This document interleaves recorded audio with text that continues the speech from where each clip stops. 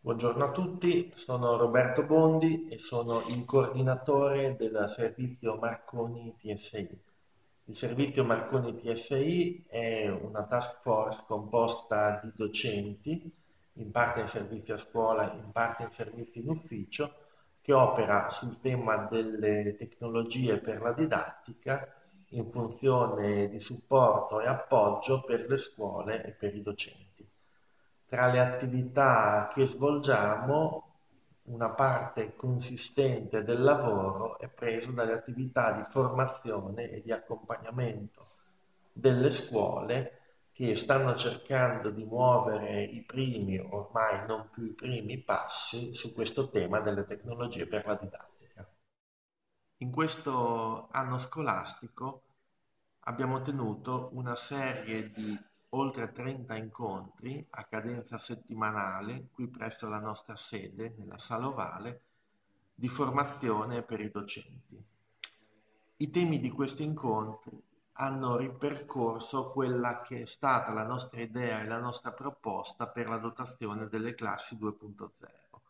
ovvero la metà circa degli incontri eh, si sono concentrati sul tema della piattaforma Google App for Education,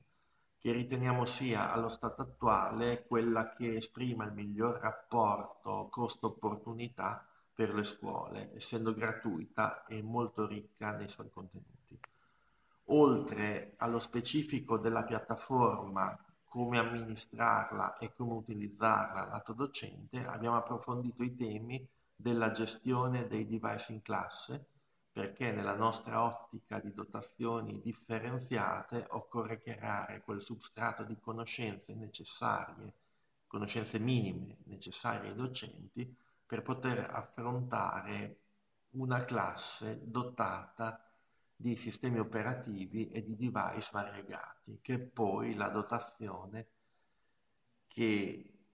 si deve utilizzare se si va sul BIOD come soluzione. Oltre a questi è stato sviluppato con due percorsi specifici il tema dei siti web per le scuole e il tema delle interazioni con l'estero attraverso la piattaforma eTwinning.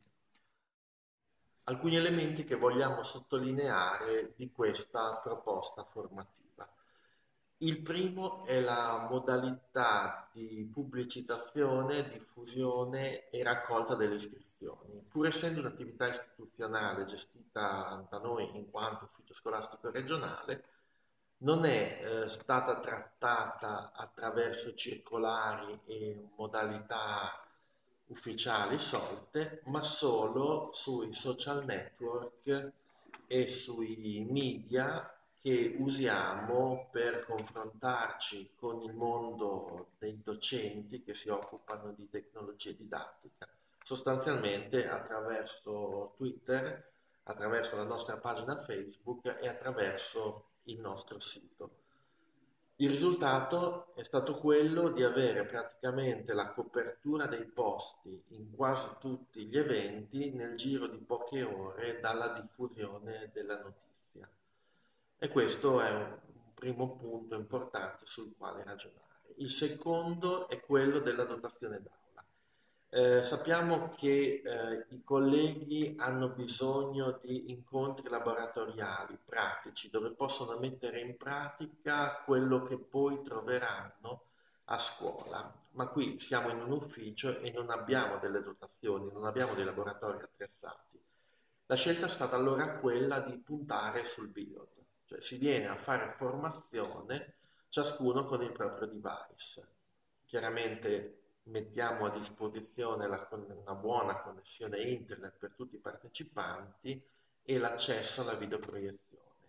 Il risultato è quello di un'aula che assomiglia molto da un lato alla dotazione mista e mobile che abbiamo proposto in questi ultimi anni, ma anche all'aula che nelle scuole si può realizzare una volta che si sceglie Bring Your Own Device, BIOD, come modalità tecnica di dotazione dell'aula. Il confronto quindi con i colleghi che hanno partecipato alla formazione si è fondato appunto su queste caratteristiche di ambiente di insieme. Come nasce in questo quadro questa due giorni estiva giugno di primarie al Marconi? Primarie al Marconi nasce eh, come promessa e come scommessa. Promessa perché nella formazione del ciclo di Salovale abbiamo avuto parecchi colleghi che sono rimasti fuori e nei questionari di ritorno dove abbiamo registrato dei dati, direi nella quasi totalità dei casi positivi, avevamo anche l'espressione di una ulteriore domanda e richiesta di altri appuntamenti per approfondire o per affrontare quei temi dai quali si era stati esclusi. Scommessa perché comunque è fine giugno, le lezioni sono già terminate, tanti sono impegnati negli esami e in altre attività e quindi il dubbio era di avere pochissime persone. Stando invece di nuovo alla diffusione della notizia, all'apertura del modulo di iscrizione, siamo stati contattati da quasi 100 colleghi, tutti di scuola primaria, perché dato il periodo abbiamo concentrato l'offerta in questo caso verso i colleghi della scuola primaria, siamo stati contattati appunto da un centinaio di persone, i posti disponibili nei laboratori che offriamo sono circa 50 e questo dato la dice già lunga sullo stato delle richieste e sulla voglia di fare, partecipare, mettersi in gioco che c'è all'interno di un nutrito gruppo di docenti. Deciso di offrire l'attività di formazione primarie al Marconi su che cosa orientare questa offerta. Due piccole considerazioni sullo stato dell'arte oggi, a metà 2015, del digitale in classe. Abbiamo da, parte, da una parte il tema a noi molto caro che è quello della classe 2.0. In estrema sintesi per noi il lavoro con le classi 2.0 è un lavoro sull'idea di ambiente di apprendimento dove le tecnologie si affiancano a quello che è il bagaglio tradizionale del docente. Tecnologie che vanno ad incidere sul modo di fare scuola, per cui si cercano nuove modalità, nuovi percorsi dove il ruolo dello studente è un ruolo attivo in quanto si muove in uno spazio allargato dalla tecnologia dove trova informazioni, contenuti e dove con questi deve interagire in prima persona. Classe 2.0 l'abbiamo seguito in tutta la sua prima edizione quando era un percorso molto elitario rivolto a un numero ristretto di scuole. Oggi in un certo senso ci sentiamo in debito con le nuove classi 2.0 perché con i finanziamenti degli anni 2013-2015 abbiamo creato un insieme di classi che è quasi raddoppiato nel periodo per investimenti propri fatti dalle singole scuole che non hanno avuto come supporto costante anche da parte nostra, dall'istituzione e dall'ufficio, tutto quell'insieme di attività di accompagnamento e di formazione che ebbero invece i pionieri del primo ciclo. Questo a, a che cosa ha portato? Ha portato oggi a un forte sviluppo autonomo, tante fughe in avanti, laterali, il mondo è molto variegato delle scuole e dentro c'è di tutto, che stanno producendo comunque degli ottimi risultati. Un riscontro l'abbiamo avuto in tempi molto recenti a Ferrara, dove abbiamo incontrato una cinquantina di classi 2.0 che abbiamo potuto accompagnare e seguire all'interno del progetto finanziato da COP. Eh, ripensavo alle singole presentazioni fatte dai docenti. Siamo nel 2015 e per certi versi le singole presentazioni erano quelle che si potevano vedere quando ci si incontrava a Montecattini o a Genova nel 2010 con le classi pioniere delle classi 2.0. Qual è però eh, il punto che fa la differenza? Che nel nostro caso, data una certa area geografica, erano rappresentate tutte le istituzioni scolastiche, tutte avevano almeno una classe 2.0, quasi tutte hanno raccontato delle classi vicine che sono state contaminate dal modello funzionante che hanno visto e che hanno cominciato attraverso il BIOD, attraverso dei prestiti, attraverso delle modalità di lavoro con pochi strumenti, ad attuare queste modalità e soprattutto a raggiungere degli ottimi risultati.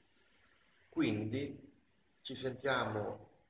di continuare a lavorare in questa direzione e a supportare i docenti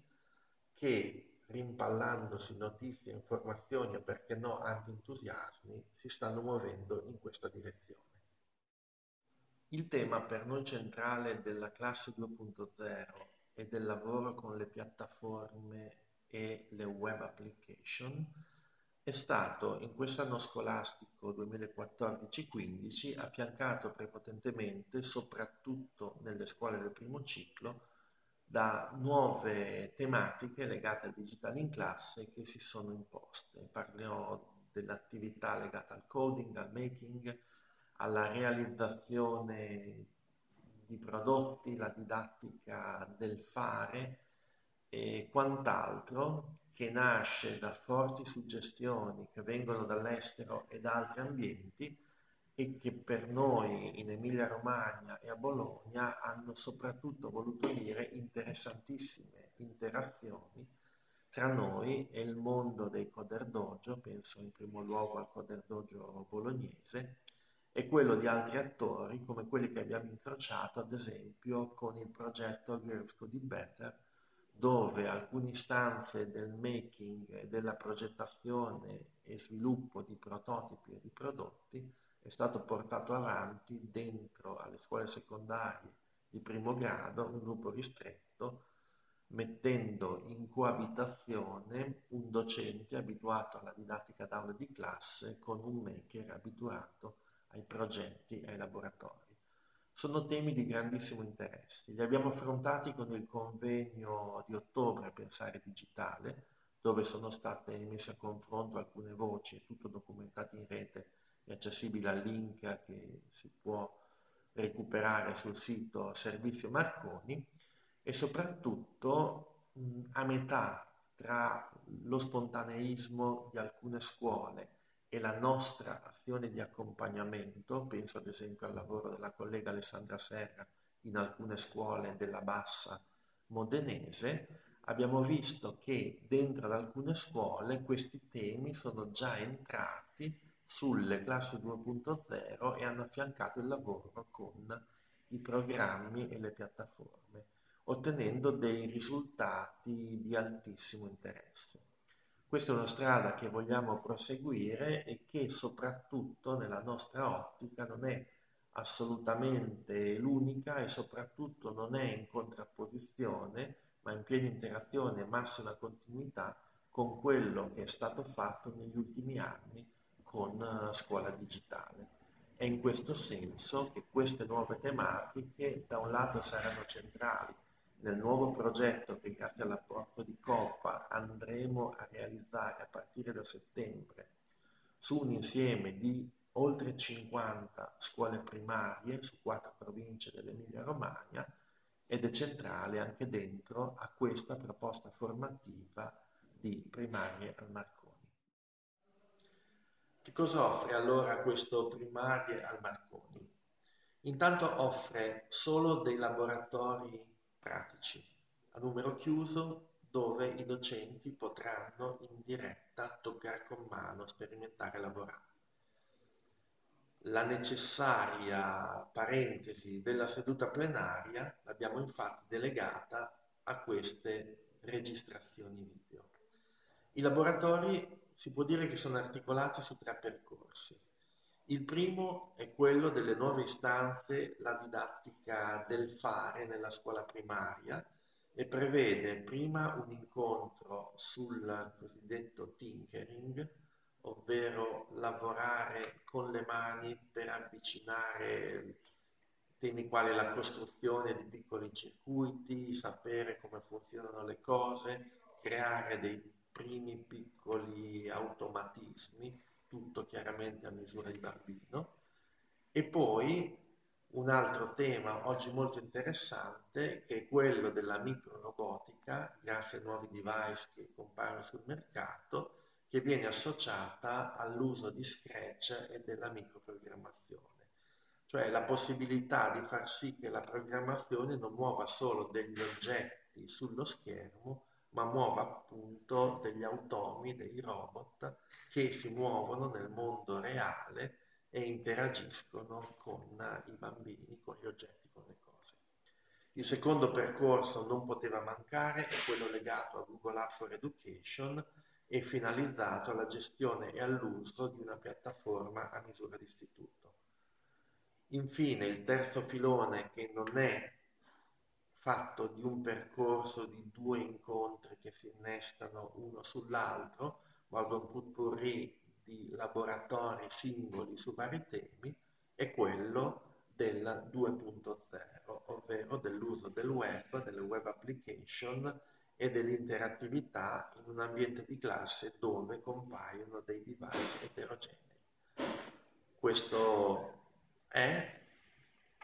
andremo a raccogliere come sempre i risultati attraverso le interazioni con i colleghi, con i questionari, Finora abbiamo sempre avuto ottimi gradimenti, ma l'interazione, la raccolta delle informazioni per noi è fondamentale perché vogliamo continuare a offrire qualcosa di valido, di gradito, di richiesto e comunque vicino al mondo della scuola del quale ci sentiamo di fare parte al 100%.